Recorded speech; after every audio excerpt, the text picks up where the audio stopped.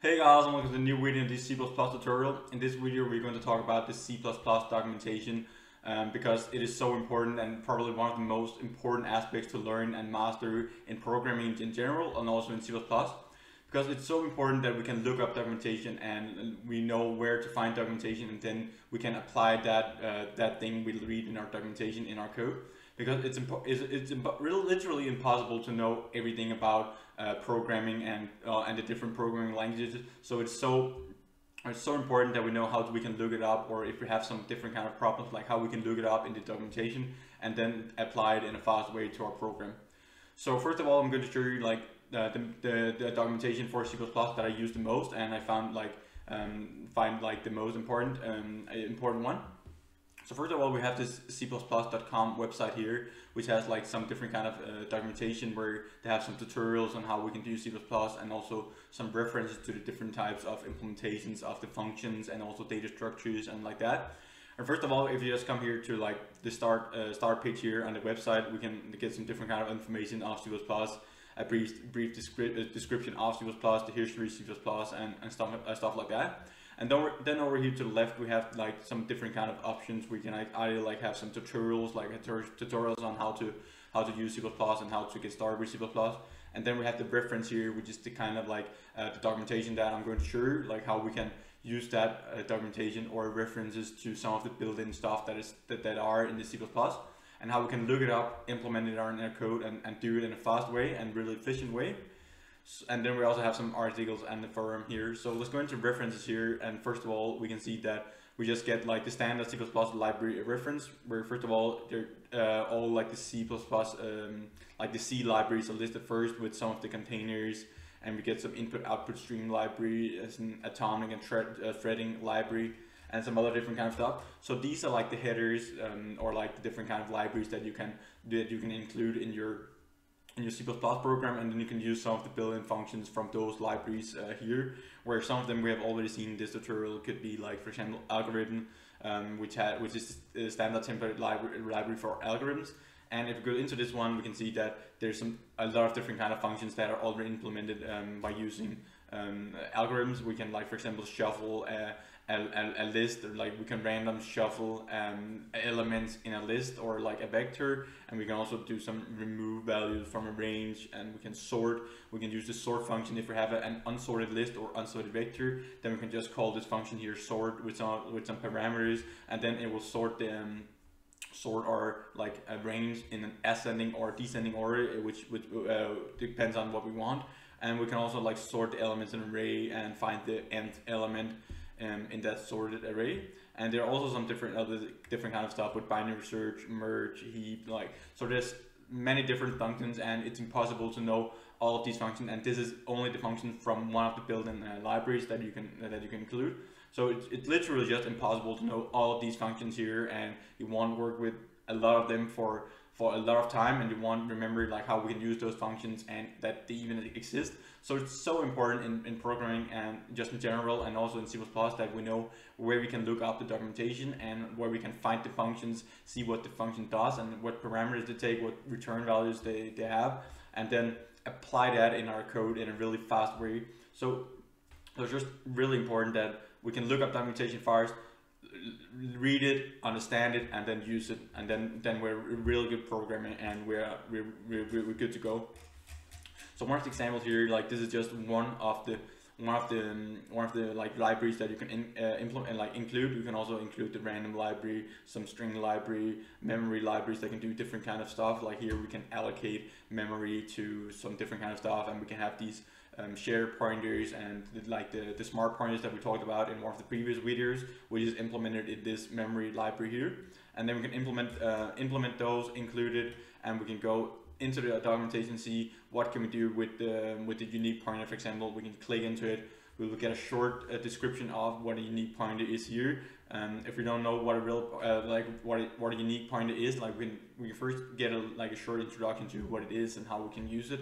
And then there's some different kind of template parameters, uh, member types, which is not, not really important stuff, but then under here we can see that some of the member functions that we can use on the unique pointer and we can see that we can swap content in a unique pointer, reset, release, uh, get the pointer and stuff like that. We can also have like this these different kind of operators, like how we can dereference an object with the star operator and the, and the arrow operator, which we also talked about in, in one of the previous videos.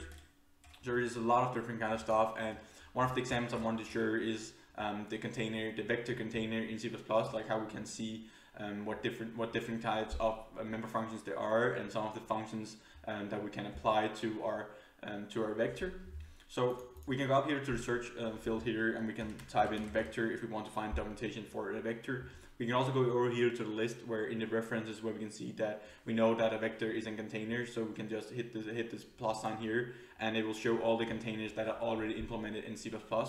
So these are like the data structures. Like I also have a, um, a tutorial on algorithms and data structures where we've implemented some of these data structures here um, from the beginning or like from scratch where in C++ they're already implemented and they're so good like debugged so it is probably like the best uh, data structure implementations that you can get by just using using the default or like the built-in um, data structures. So we can see like the different kind of data structures here where we've been over like different types of like maps and queues list uh,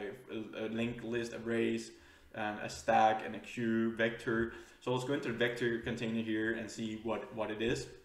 so first of all, we can see that there's two two classes here. So we can have, for example, have a vector and we can have a vector of booleans. And it has two functions here, like just the original vector with the begin and end.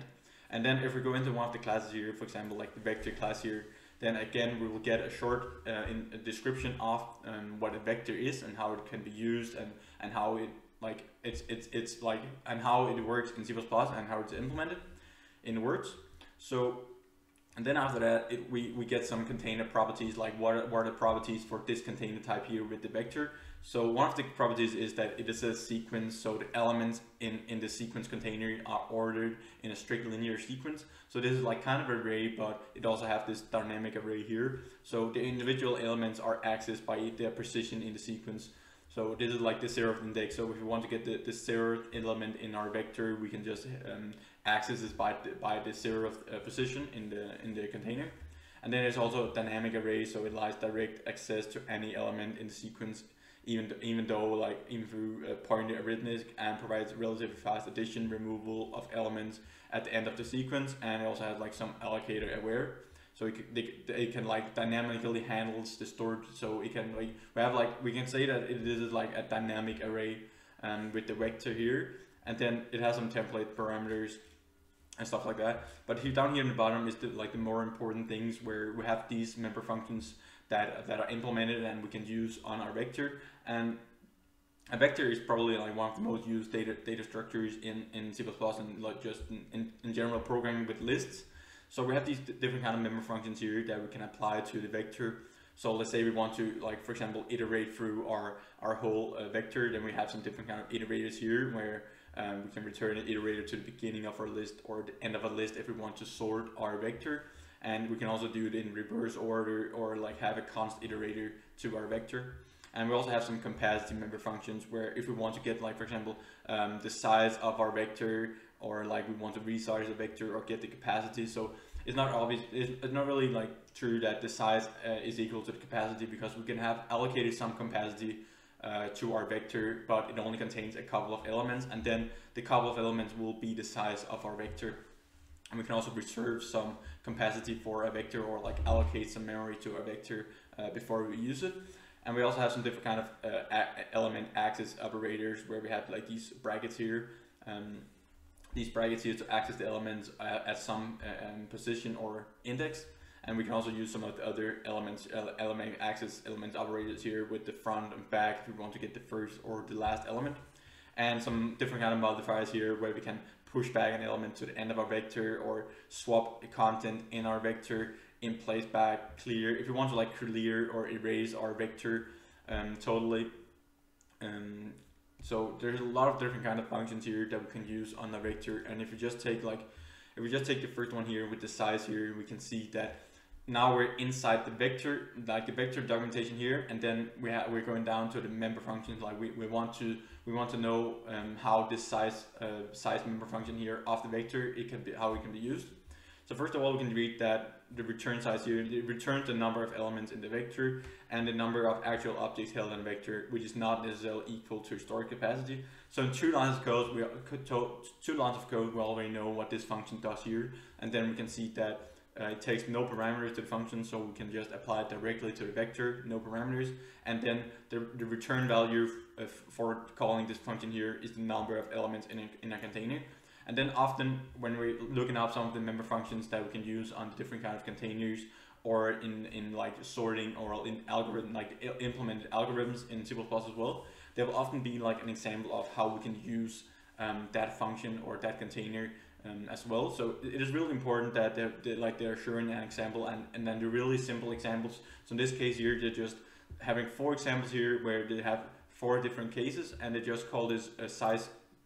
uh, this size function here on a vector and then we can see what what it outputs as well so it's really good to get a, quick overview over what this function or a function does in C++ by just going into the documentation seeing a short or and simple example here with some different kind of cases and then you can see like how you can implement this in your code or for your for, for your example.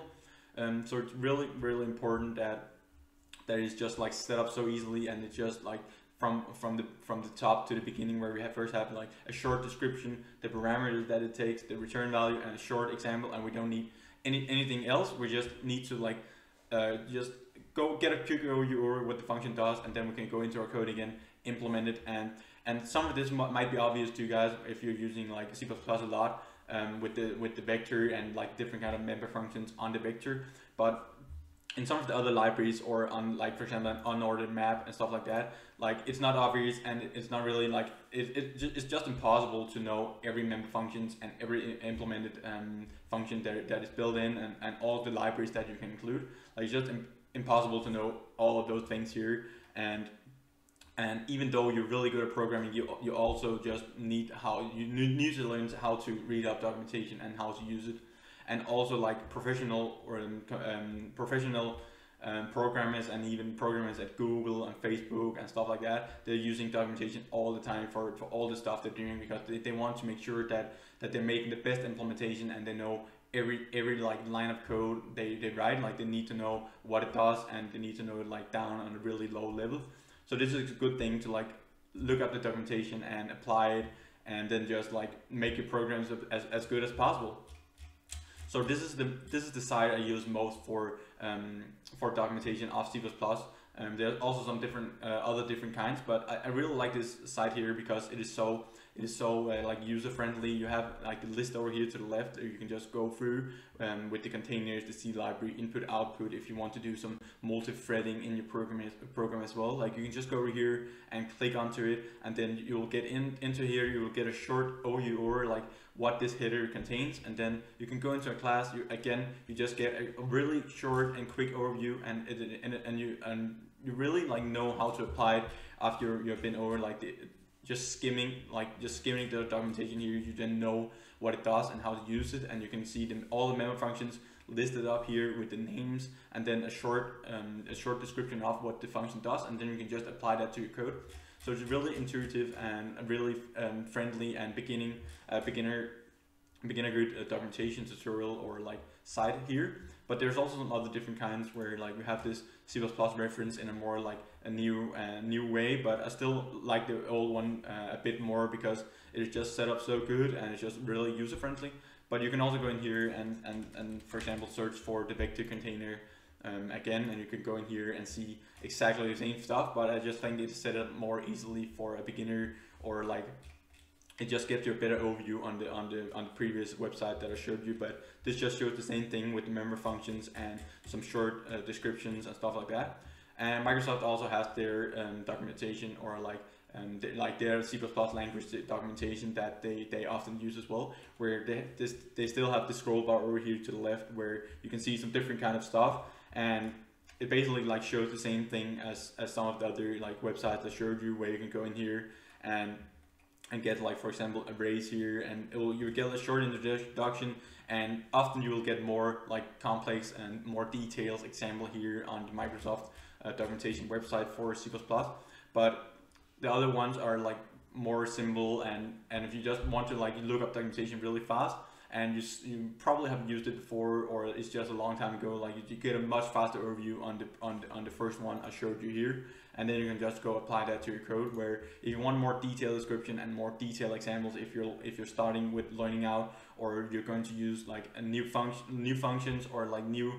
um, new headers and libraries then you have you, you get a more detailed description in here uh, on the Microsoft side. And if you're really new to to the thing you're looking up so thank you guys for watching this video and remember to hit the subscribe button and bell notification on the video and also like this video if you like the content and you want more of it in the future. If you want to like apply some of these things that you learned in this C++ tutorial, I'm also doing a, a C++ tutorial in algorithms and data structures and also a more practical one in computer vision um, where we're using OpenCV to do some different kind of stuff with camera calibration and, and object detection and all stuff like that. So if you want to apply some of these things in a more practical way, you can go check one of the tutorials up. I'll link to one of them up here. Or else I'll just see you in the next video, guys. Bye for now.